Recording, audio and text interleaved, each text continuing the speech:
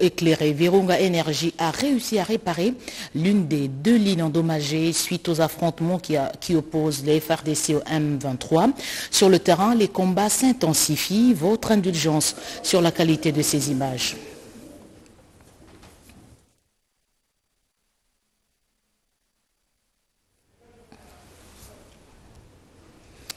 Goma a renoué avec l'électricité après une coupure de courte durée, je l'ai dit il y a quelques instants. Euh, cela est dû à la ligne qui était endommagée suite aux affrontements qui opposent notre armée au M23. Voici ces images tournées aujourd'hui dans la ville de Goma qui renoue avec l'électricité. Après une courte période de coupure de l'énergie électrique qui a plongé la quasi-totalité de la ville de Goma dans l'obscurité le lundi 6 novembre 2023 aux environs de 19h, la société Virunga Énergie vient de rétablir ce mardi 7 novembre dans toutes les zones qui étaient endommagées lors des affrontements qui ont opposé les forces armées de la République démocratique du Congo FARDC et le M23 au niveau de Kibumba en territoire de Niragongo, incident qui a endommagé la deuxième ligne moyenne tension de la société Virunga Énergie. Selon M. Bienvenu Bouendé, responsable des communications du parc national de Virunga, jointe au téléphone par votre chaîne, les équipes de cette société ont travaillé d'arrache-pied pour rétablir les courants électriques après les travaux d'entretien effectués sur la ligne moyenne tension. Toutefois, ces rétablissements restent temporels, a-t-il dit. Pour l'instant, il y a l'électricité, mais il faut dire qu'il reste beaucoup à faire parce que la ligne a été sérieusement endommagée. Euh, donc, euh, la remise, elle est faite de manière temporaire. Il y a d'autres travaux qui vont suivre pour, euh, pour consolider cela. Mais il faut dire que la situation reste fragile tant que les affrontements continuent. Pour l'instant, en tout cas, l'électricité. Bon, partout, Kosakura, Yamunyumba, bon, charger téléphone, vile vile. Unasikia deja ile na ile nao ni problem. hatutumike kazi na kuranjo natuleteaka maaktivite za mingi antuka bajifere violence kusudi ile poto yenye ilianguka baremetre tena sinyale ya moto kusudi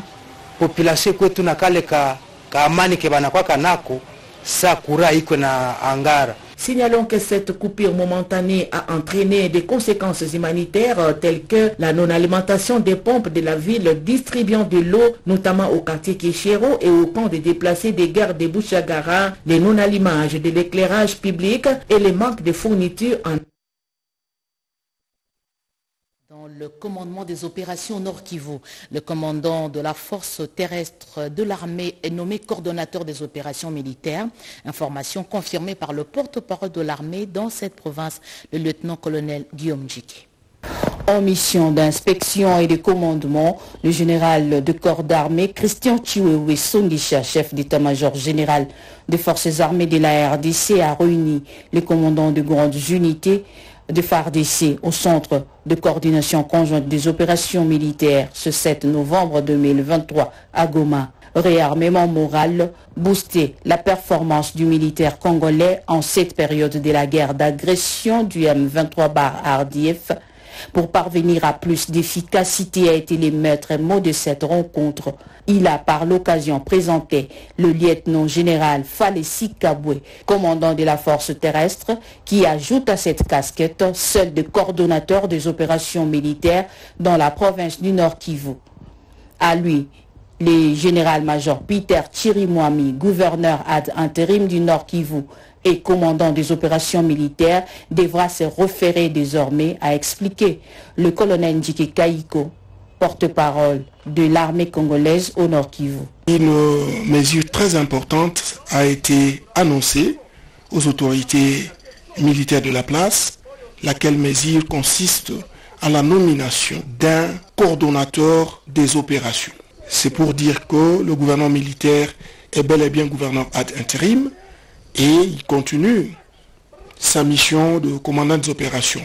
Mais tout ce qu'il aura poser euh, dans le cadre de sa mission sera désormais coordonné par euh, le lieutenant général euh, Sika Bouefal, qui se trouve être le commandant de la force terrestre.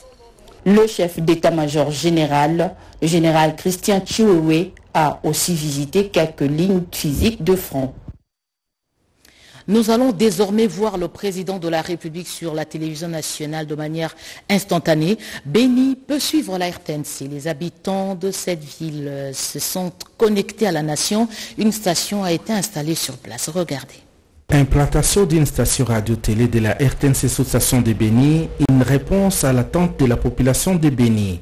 Pour certains, c'est l'occasion de cette population longtemps envahie par les rumeurs de retrouver les informations sûres et fiables. Et pour d'autres, une fois la radio implantée, elle va utiliser une main-d'œuvre locale, chose qui va résorber les taux de chômage en ville de Béni. Je peux dire que RTNC, c'est une chaîne nationale. C'est une entreprise publique de l'État, RTNC. Donc, toutes les informations officielles doivent partir de RTNC avant d'être relayées par votre radio. Donc, les ordonnances du chef de l'État, les décisions du gouvernement, ça doit d'abord passer par RTNC avant d'être relayé par votre radio. Nous remercions les autorités de la RTNC de nous installer la station ici en ville de Béni. Et surtout, comme c'est la télévision, nous aurons des informations fiables et sûres. Cette fois-ci, de nous-mêmes, nous allons voir le président de la République en direct. Merci pour la RTNC Béni. J'espère la RTNC va d'abord engager la population de Béni. Nous sommes là pour ces notables de Béni et directeurs d'une chaîne de radios privées la RTNC doit être une référence de toutes les radios de la ville de Béni. C'est pourquoi il demande à cette occasion aux autorités de la RTNC de tenir compte du professionnalisme dans les recrutements des journalistes. Je souhaite encore une fois de plus bienvenue à cette chaîne nationale qu'on appelle les hommes parce que c'est la chaîne de tous les Congolais et que la RTNC puisse être la meilleure chaîne par rapport à toutes les autres radios de la région, qu'il soit supérieur par rapport à Moulan et à d'autres radios. Parce que c'est la référence des chaînes nationales au niveau de notre République, au niveau de notre pays. Voilà ce que je peux souhaiter à, la RTNC, c'est ça.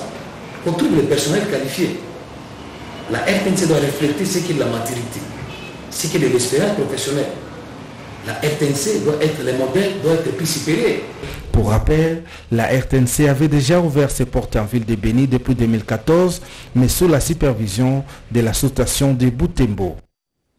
Et puis cette décision prise par le secrétaire euh, général au ministère de la Communication et Médias, il suspend de ses fonctions l'administrateur directeur général du Renatelsat, M. À cet effet, le secrétaire général demande aux concernés de prendre toutes les dispositions utiles pour procéder en déant 48 heures à la passation de service avec M. Bondo Jean-Pierre, nommé intérimaire euh, suite à cette décision. Deux projets de loi déclarés recevables hier à l'Assemblée nationale. Les deux textes ont un lien avec le service public. Explication avec Sylvie Moembo et Guy Kitoko. Un tableau assez sombre pour l'administration publique de l'État présenté par le vice-premier ministre, ministre de la fonction publique, devant la plénière de la Chambre basse du Parlement, conduite par son speaker, Christophe Mbosoko Diapwanga. Jean-Pierre Liaou, lors de la présentation de l'économie générale de deux projets de loi le projet de loi modifiant et complétant la loi organique du 3 mai 2016 portant organisation et fonctionnement des services publics du pouvoir central, des provinces et des entités territoriales décentralisées qui vise à corriger les écueils décelés dans l'ancienne loi afin de la mettre en cohérence avec la loi du 15 juillet 2016 portant statut des agents de carrière des services publics de l'État qui apporte des incitations au changement ainsi que le fonctionnement efficace des services publics. Des avancées ont été lentes avec la persistance de plusieurs phénomènes décriés tels que la faible maîtrise des effectifs et ipso facto de la masse salariale. Parmi les innovations apportées à ces deux projets de loi, l'on peut citer le vide juridique comblé sur la situation de l'agent qui décède au-delà de l'âge légal de départ à la retraite. 16 intervenants se sont succédés à la tribune, dont la majorité des élus nationaux est revenue sur le non-fonctionnement des services publics de l'État. 30 minutes après, le vice-premier ministre, ministre de la fonction publique, a répondu aux préoccupations des élus nationaux. Nous sommes en train de matérialiser la, vision euh, euh, du président de la République qui voudrait euh, voir notre pays être doté d'une administration publique qui véritablement à la hauteur de, sa grandeur et surtout à la hauteur des enjeux. Et ces changements de tangents passent par le changement de cadre normatif et donc de, des lois qui régissent la marche et le fonctionnement de nos administrations publiques. Au finish, les deux projets de loi ont été déclarés recevables et renvoyés à la commission politique, administrative et juridique qui dispose de deux jours de travaux. Accélérer la croissance économique. Le pays se tourne vers de nouvelles opportunités. Le dialogue sur le financement a ouvert ses portes aujourd'hui. Certains panels évoquent des stratégies de financement public et privé. Le ton a été donné par le Premier ministre Jean-Michel Samaloukon. Des reportages de Bienvenue Loussala, Julien Piana, Janine Kalinga. Dialogue sur les financements du développement, la République démocratique du Congo à la recherche de nouvelles opportunités pour accélérer la croissance économique. Le Premier ministre Jean-Michel Samalou Kondé a lancé ce mardi 7 novembre 2023 le dialogue sur les financements du développement en République démocratique du Congo en partenariat avec le Programme des Nations Unies pour le développement. Cette initiative qui s'étend sur deux jours, soit du 7 au 8 novembre 2023 au fleuve Congo Hôtel, vise à évaluer les possibilités de mobilisation de ressources financières supplémentaires pour combler les besoins du développement du pays. Ce dialogue national euh, inclusif sur le financement du développement s'inscrit dans cette perspective.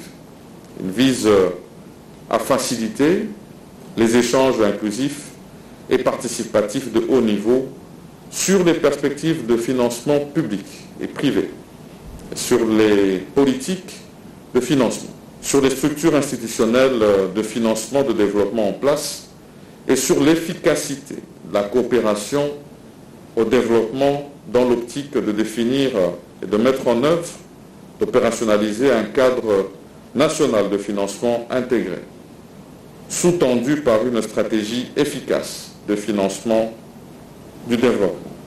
Au cours de ces dialogues organisés par le ministère du Plan, les parties prenantes examineront les stratégies existantes en matière de financement public et privé, ainsi que les structures institutionnelles de financement et de développement mises en place. Ces assises permettront également à la RDC de réaliser une analyse détaillée des perspectives de mobilisation de ressources financières. Il s'agit de combler des lacunes dans la mise en œuvre des objectifs fixés dans le plan national de développement et des objectifs de développement durable. Dans son monde des bienvenus, la ministre d'État, ministre du Plan Judith Soumino Toulouka, est revenue sur l'importance qui rêvait ce dialogue.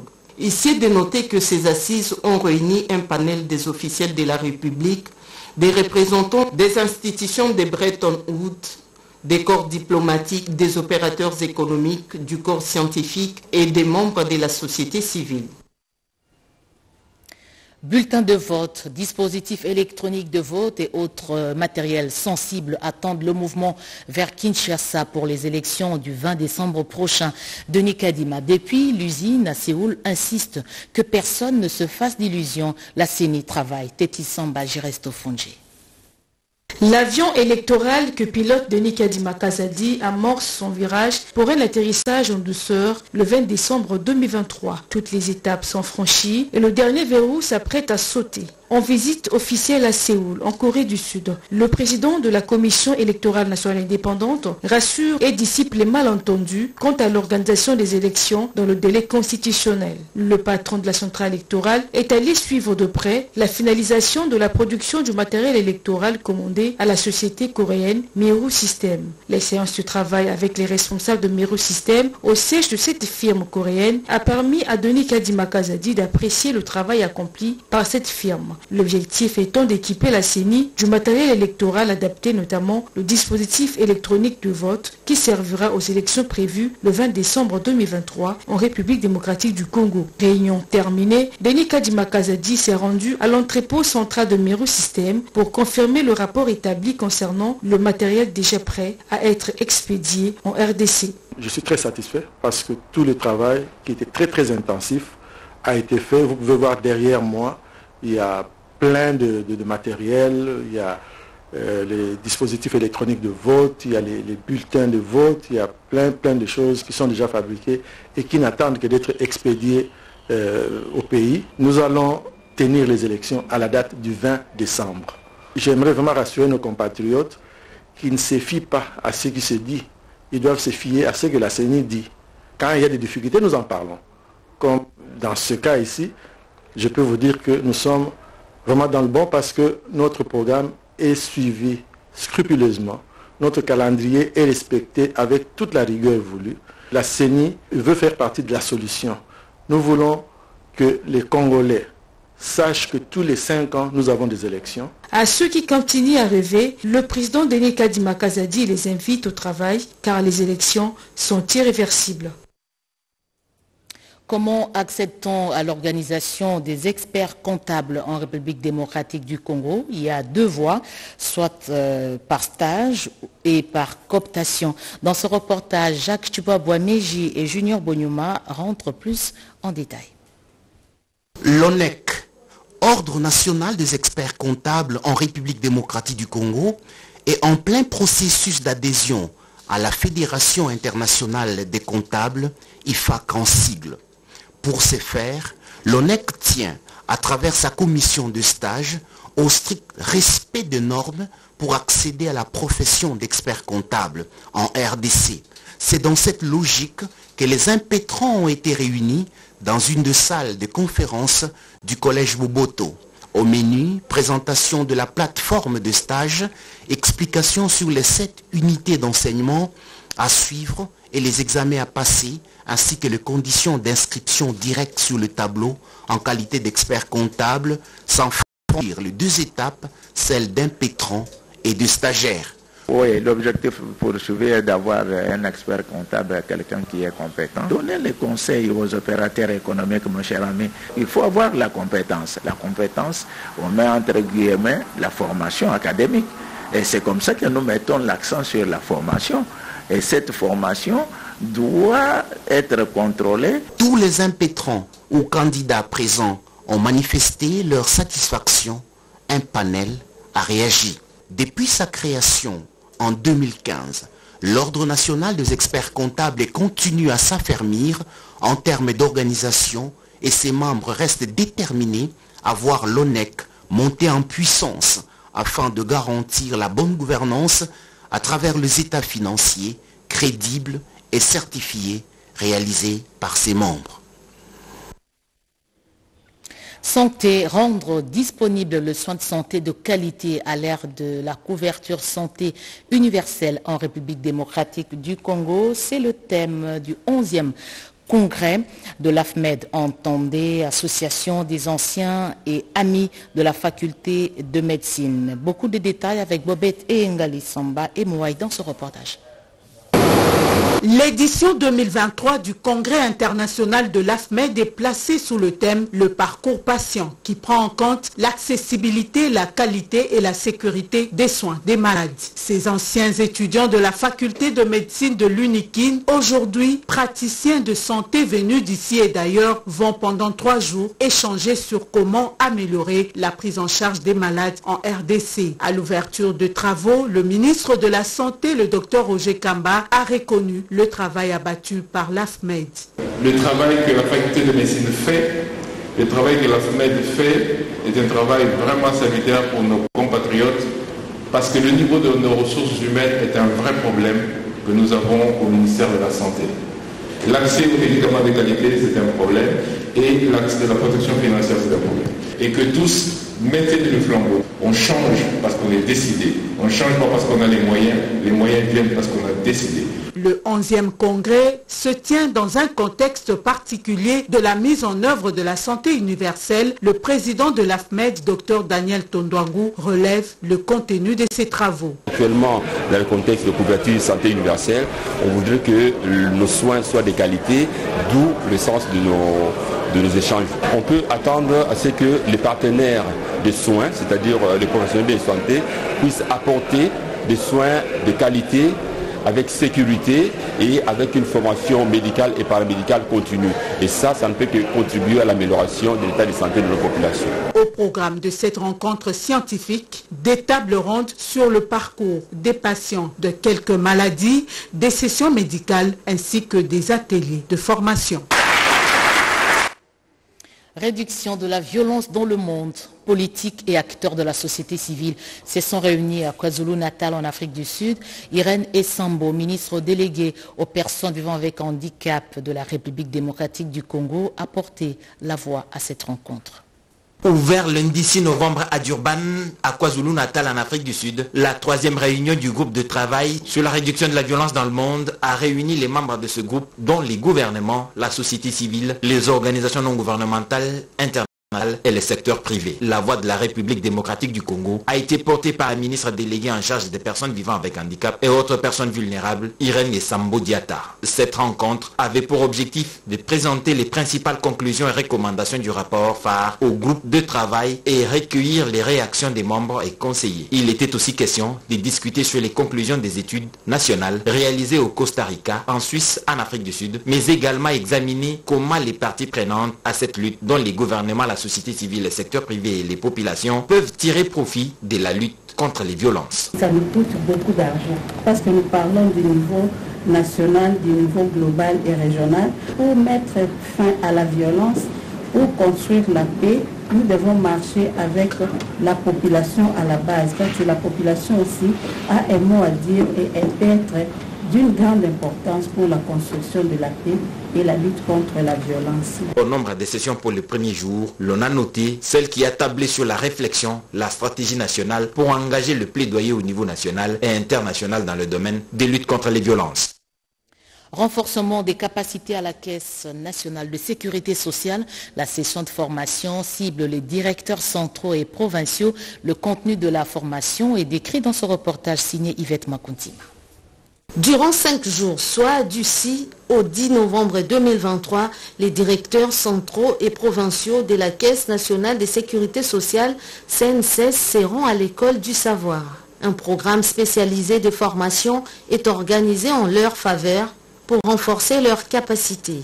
Ces modules regroupés par métiers homogènes seront des outils mis à leur disposition pour planifier et faire le suivi en tant que manager. Selon les directeurs des ressources humaines, Ogi Kalambay Opala, cette formation va valoriser la montée en compétences. Le directeur général de la CNCS, Charles Moudiaï Kazadi, est revenu sur l'article 47 de la Convention collective en vigueur qui autorise la Caisse d'assurer la formation et le perfectionnement de l'ensemble du personnel. J'invite chacun de vous à capitaliser ses connaissances et à les mettre au service de la Caisse pour optimiser le rendement de notre entreprise. La pérennité du régime général de sécurité dépend de ce que chacun est censé donner à la caisse aujourd'hui.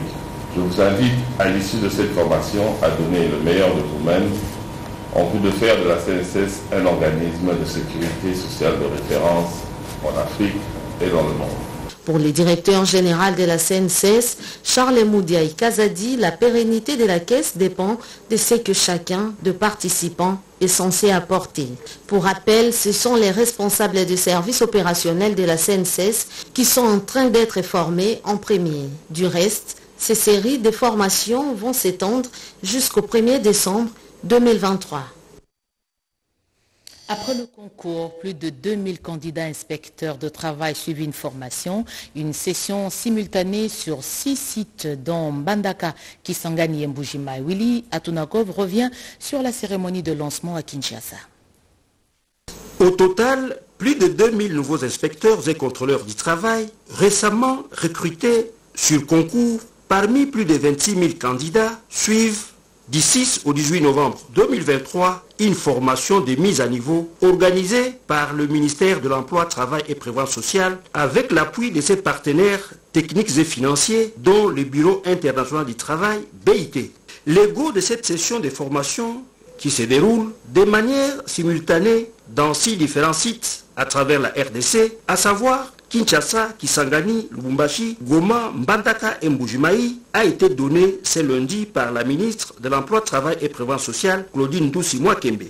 C'était au magnifique village Vénus à Bibois, dans la commune d'Entsele à Kinshasa, choisi comme site de formation pour plus de 900 lauréats issus de la capitale, du Congo central et de l'espace Grand Bandundu. Occasion pour la patronne de l'emploi en RDC, affectueusement appelée Mama Limama, de saluer les efforts déployés par le gouvernement de Warriors sous l'impulsion du chef de l'État pour l'aboutissement du processus de la réforme de l'inspection générale du travail. Je voudrais d'abord rendre de vibrants hommages à son Excellence Félix Antoine Tshisekedi Chilombo, chef de l'État,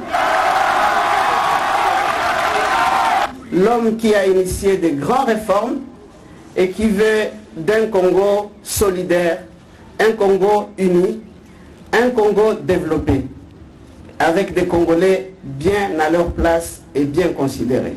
Auparavant, dans son monde de bienvenue, Jean-Paul Mboma Mayoukou, inspecteur général du travail ad intérim, avait expliqué les différents modules des enseignements qui seront dispensés conformément aux normes internationales par quelques inspecteurs expérimentés formés par l'OIT et par d'autres experts du monde du travail en République démocratique du Congo, parmi lesquels les enseignants des universités. Acacia Bandoubola sur le terrain, elle poursuit la campagne dénommée civisme électoral.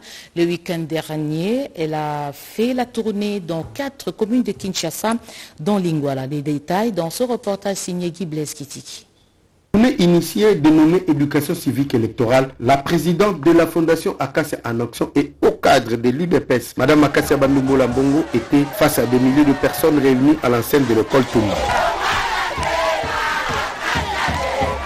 Elle était à l'assaut de membres disséminés dans les quatre communes identifiées de bloc 1, constituées de la commune de Lingwala, de Kinshasa, de Barombu et de la Gombe. Cette conscientisation électorale a débuté dans une communion de cœur et d'esprit. Et comme à l'accoutumée, peu avant de s'adresser à l'assistance, un échantillon de cadres quasiment des coordonnateurs et des CP de communes politiques ont été présentés par le secrétaire général de la Fondation. Prenant la parole, le membre de la coordination de la campagne du chef de l'État, Madame Akassia Bandoubo Lambongo, concise et précise cette atelier sous les vertus d'un bon candidat et de bons électeurs. Il y aura des candidats qui s'amèneront avec de biens matériels et de l'argent pour s'offrir vos voix, sans parfois un projet concret et crédible pour le bien-être de la population. Un profil atypique avec de beaux discours. Ne vous laissez pas emballer, au contraire, il y a lieu de faire preuve de responsabilité et de conscience. Revenons sur le grand projet réalisé sous la gouvernance du président Félix Antoine Tshisekedi Chilombo, à savoir la gratuité de l'enseignement, la gratuité de l'accouchement dans son projet couverture santé universelle et le programme de développement local des 145 territoires, grâce auquel des centres de santé et des écoles ont été déjà construits à travers le pays, initiés et suivis de près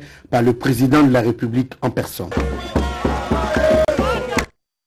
Vers une sortie de crise dans le dossier concernant la grève des transporteurs routiers de l'axe Kinshasa-Matadi et ceux de Kasumbalesa dans le Haut-Katanga, le gouvernement, le syndicat et l'employeur représentés par la FEC, les trois principaux protagonistes étaient autour du chef de l'État Félix-Antoine Tshisekedi Chilombo. Reportage de Blandine Zovo.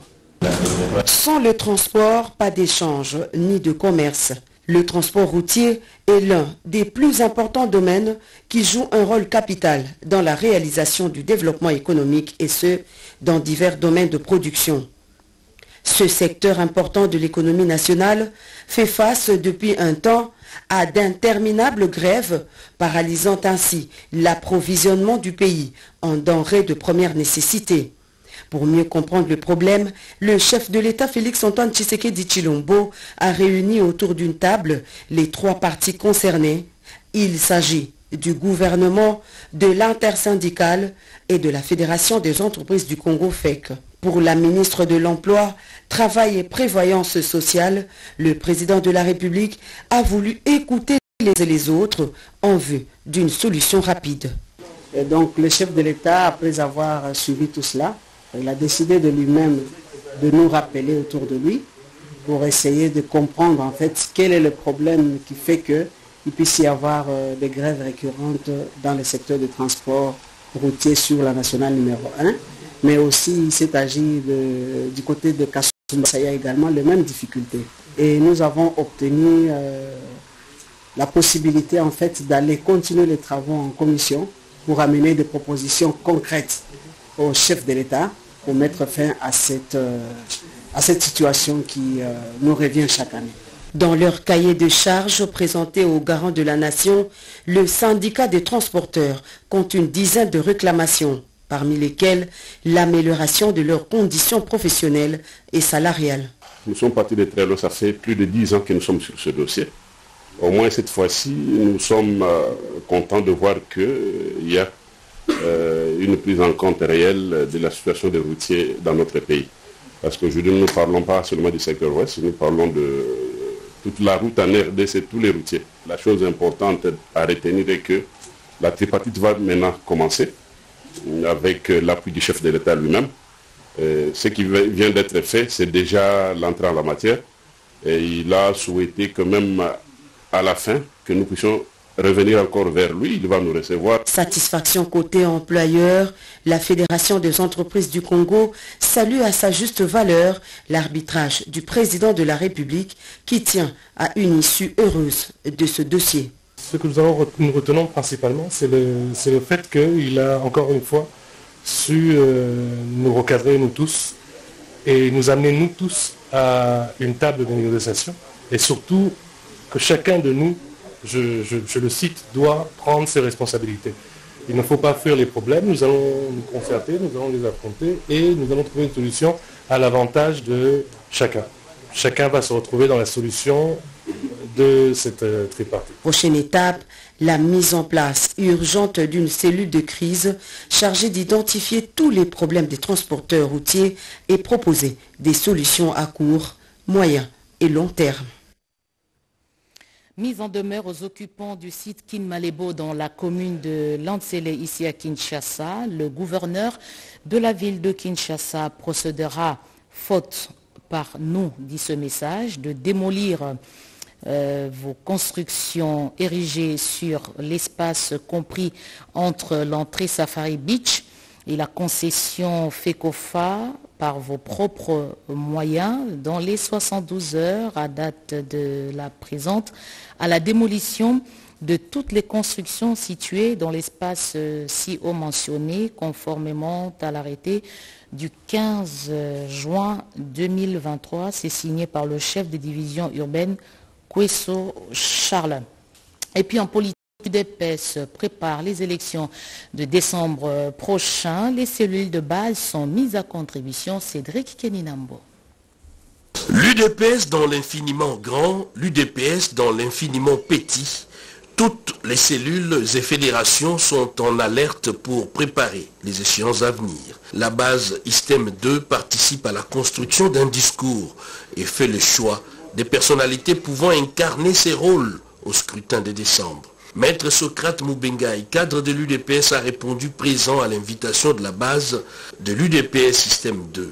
Il s'agit de la dixième cellule de l'UDPS visitée sur le 20 que compte la commune de Mongafula. L'occasion était propice pour rappeler la nécessité d'un soutien sans faille au chef de l'État Félix-Antoine Tshisekedi. Maître Socrate Moubengaï, cadre de l'UDPS, a formulé la demande aux combattants et cadres du parti d'être prêts car il y aura bel et bien élection le 20 décembre prochain. Je suis totalement euh, content de cette rencontre. Nous avons échangé par rapport aux échéances euh, de décembre 2023 auxquelles nous avons pu débattre sur les stratégies que nous devons mettre en place. Mais bien avant cela, le joker de la République était à la mosquée Taïd au quartier Mitendi, toujours dans la commune de Mongafula. Ému de voir les dignes fils de cette municipalité répondre à leur invitation, l'imam de cette mosquée a promis tout son soutien. Je reviens sur cette décision avant de clôturer. C'est la suspension de M. Achinda, directeur euh, général du Renatelsat, une décision prise par le secrétaire général au ministère de la Communication et Médias. À cet effet, le secrétaire général demande aux concernés de prendre toutes les dispositions utiles pour procéder en déon 48 heures à la passation de service avec M. Bondo Jean-Pierre, l'intérimaire désignés. Merci à nos téléspectateurs de Béni d'avoir suivi ce journal. Restez avec nous, le programme continue. Retrouvez à 23h pour un nouveau journal Anita Luamba. À demain à 20h.